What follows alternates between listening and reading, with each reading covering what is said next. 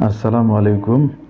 সুপ্রিয় শিক্ষার্থীবৃন্দ, ধন্যবাদ সবাইকে। আজকে আমরা ম্যাথমেটিক্স টু, চ্যাপ্টার সিক্স, অন্তরক সহগ ও অন্তরীকরণ, অর্থাৎ ডিফারেন্সিয়াল কোএফিসিয়েন্ট অ্যান্ড ডিফারেন্সিয়েশন, এই অংশে আমরা বেসিক আলাপ আলোচনা করব। পাশাপাশি আমরা কিছু ম্যাথগুলো দেখার চেষ্টা করব। প্রথমেই এই চ্যাপ্টারের যেগুলো বেসিক আলাপ আলোচনা হচ্ছে যে, আসলে অন্তরক সহগ, মূল নিয়মে অন্তরিক সহগগুলো কীভাবে ক্যালকুলেশন করতে হয় এই ব্যাপারগুলো আমাদের দেখার ব্যাপার। তো প্রথমে এখানে আমাদের এই মূল নিয়ম অন্তরীকরণ সহগ নির্ণয় করার জন্য যেটা করতে হয় সেটা হচ্ছে যে y equal to f x এরকম একটা ফাংশন দেওয়া থাকে। তো এই ফাংশানের ক্ষেত্রে আমরা জানি এই এক্সটা হচ্ছে এটা স্বাধীন চলক। এটাকে বলা হচ্ছে স্বাধীন চলক। আর ওয়াইটা হচ্ছে অধীন চলক। অধীন চলক। এই দুইটা বিষয় কিন্তু আছে এখানে। স্বাধীন চলক মানে এই চলকের বা এক্সের মানের উপরে ওয়াইয়ের মান কিন্তু ডিপেন্ড করে। এক্সের মান যেটা বসাবো, সেটার প্রেক্ষিতে কিন্তু ওয়াইয়ের মান পাবো। এখন এই যে স্বাধীন চলকগুলো রয়েছে, এই স্বাধীন চলকের মানের কিন্তু বৃদ্ধি অনুসারে ওয়াইয়ের মান বা অধীন চলকের মানও কিন্তু বৃদ্ধি বা হ্রাস পায়। এই বিষয়গুলো এখানে দেখতে হয়। তো স্বাধীন চলকের বৃদ্ধিগুলোকে মূলত ডেল এক্স, এটা কিন্তু ডেল এক্স, অথবা এরকম ত্রিভুজ ত্রিভুজের মতো কিন্তু দেখানো হয়, এটা ডেল এক্স, অথবা এটাকে এইস এরকম সিম্বল দিয়ে দেখানো হয়। এগুলো হচ্ছে স্বাধীন চলকের ক্ষেত্রে। অপরদিকে অধীন চলকের ক্ষেত্রে এটা ডেল ওয়াই বা কে, এগুলো সিম্বল দিয়ে দেখানো হয়।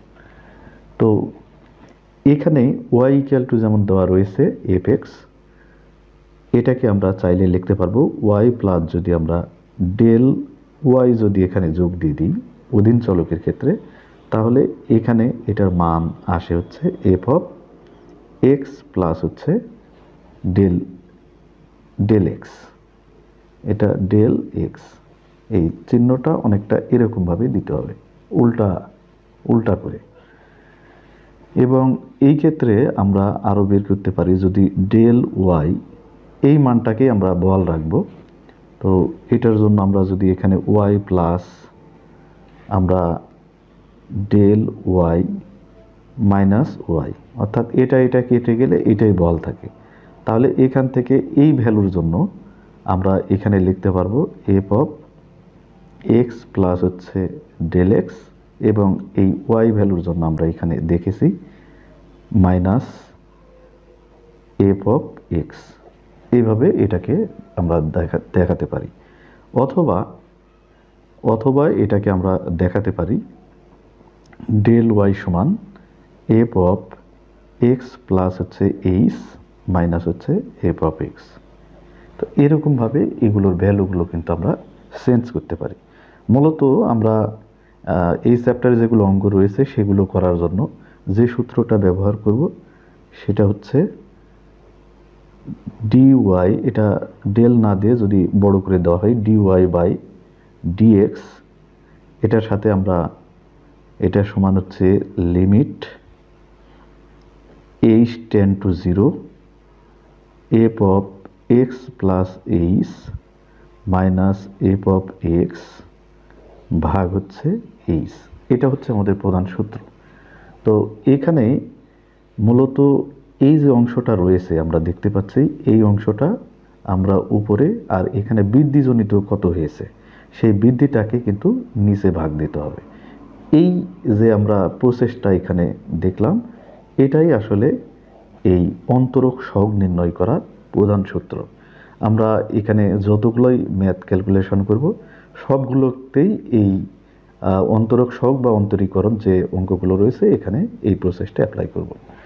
তো আমরা কতগুলো অঙ্ক দেখি, দেখলে আমরা কিন্তু এগুলো আরও ক্লিয়ার হয়ে যাব।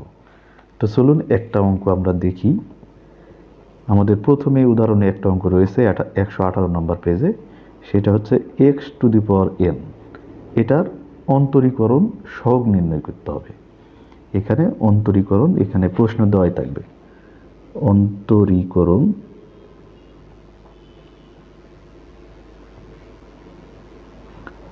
সহগ নির্ণয় করো।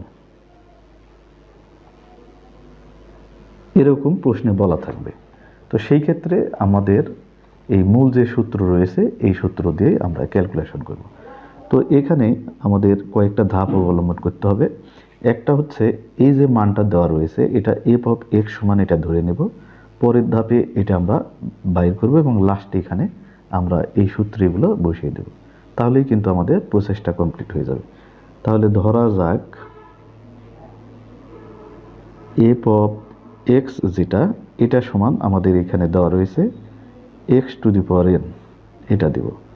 অতএব এটা সমান কত হবে? F of x plus h এত সমান কত হবে? জাস্ট আমাদের এক্সের পরিবর্তে এক্স প্লাস এইচ এটা বসাবো। তাহলে এখানে আমাদের হচ্ছে এক্স প্লাস এইচ তার উপর পাওয়ার এন আছে, আমরা পাওয়ার এন দেব। এখন আমরা এই সূত্রটা সরাসরি লিখব। যে আমরা জানি বা ইসে এরকমভাবে লিখব।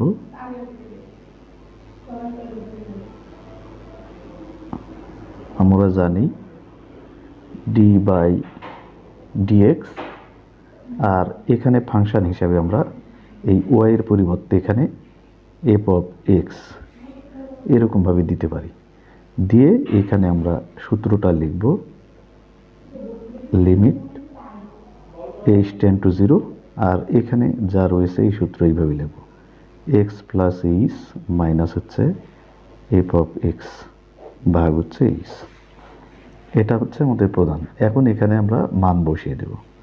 অতএব d by dx f of x মানে আমরা এখানে x to the power n এত নিয়েছি। এখন এখানে আমাদের limit h tends to zero এখানে আমরা এখন ভ্যালু বসাবো। F of x plus h এটার মান কিন্তু আমরা অলরেডি এখানে বাইর করে নিয়েছি। তাহলে এখানে লিখব x plus h to the power n minus এটার ভ্যালু হচ্ছে x to the power n আর নিচে আমাদের এইচ আছে এইচ দিয়ে দেব।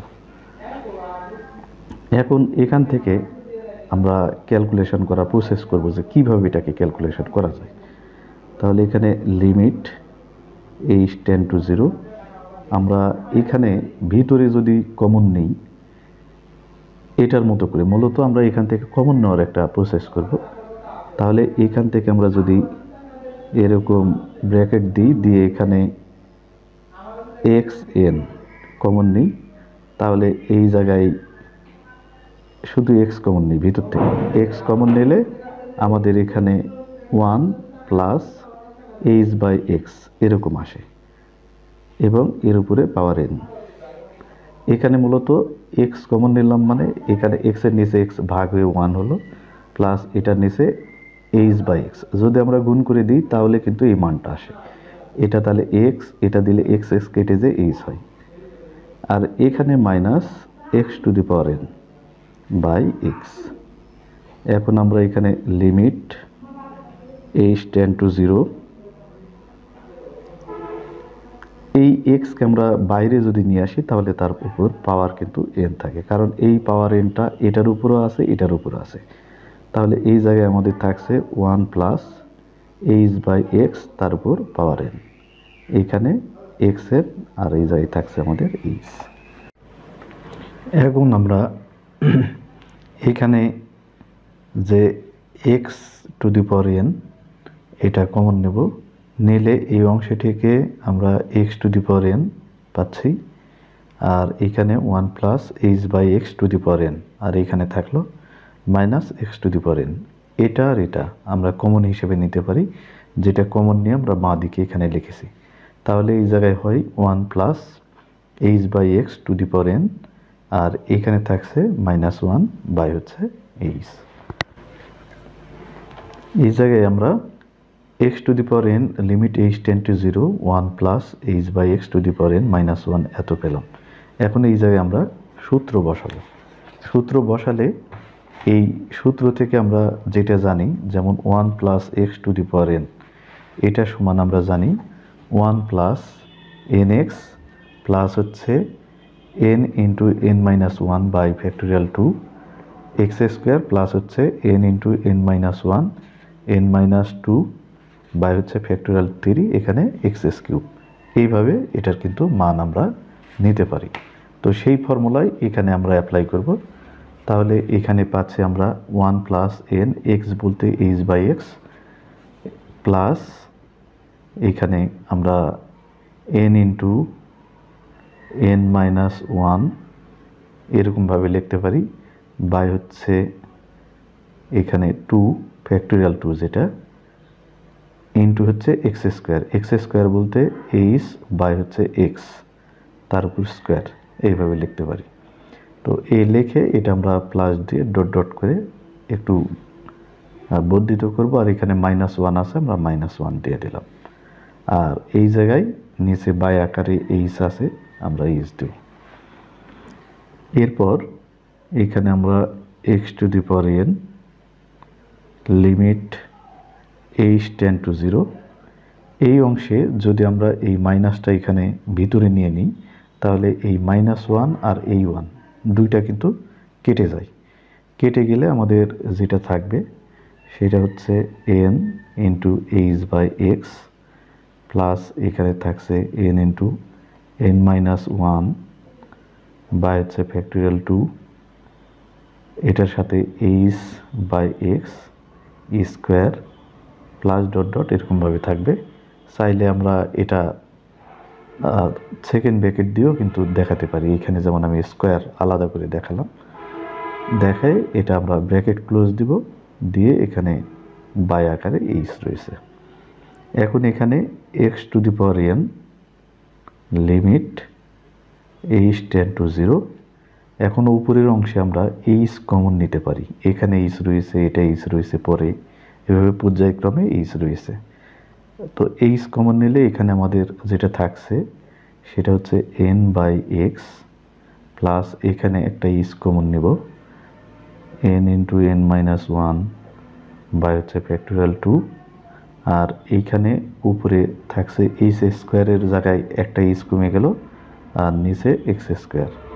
প্লাস এরকম আর নিচে ভাগ আকারে এইচ, এই এইচ এইচ কেটে যাবে। গেলে এখানে আমাদের x to the power n আর যে ভ্যালুটা থাকবে সেই ভ্যালুগুলোতে আমরা মান বসাই দেব। সেটা হচ্ছে এইচ টেন টু জিরো, এটা আমরা বসাবো। তো মানগুলা এইচ টেন টু জিরো এই মান যদি এখানে বসাই, তাহলে এখানে এন বাই এক্স যেহেতু এইচের মান বসাবো এইখানে যদি এটার মান জিরো বসানো হয়, তাহলে সবগুলা জিরো হবে। পরের মানগুলোও যদি আমরা নিই এইভাবে জিরো হবে। তাহলে এখানে আমাদের থাকছে x to the power n আর এখানে থাকছে এন বাই এক্স অর্থাৎ এখান থেকে আমরা কিন্তু ভ্যালুগুলো সবগুলোই কিন্তু আলাদা আলাদা বা সেম ক্যাটাগরি নিতে পারি।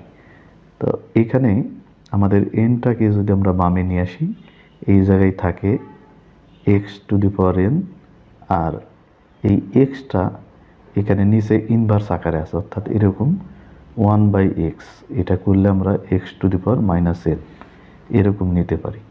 তাহলে এখানে এক্স ইনভার্স ওয়ান সমান আমরা লিখতে পারি এন এক্স, এখানে এন মাইনাস ওয়ান। অর্থাৎ এর আগে যেটা আমরা x to the power n, এটাকে মূল নিয়মে যদি আমরা অন্তরীকরণ করি, তাহলে সেটার সূত্র হচ্ছে n into x to the power n minus one. এটা আসলে এটা সরাসরি সূত্রই। এই সূত্রটা পরবর্তীতে আমরা বিভিন্ন অঙ্ক করার জন্য কাজে লাগাবো।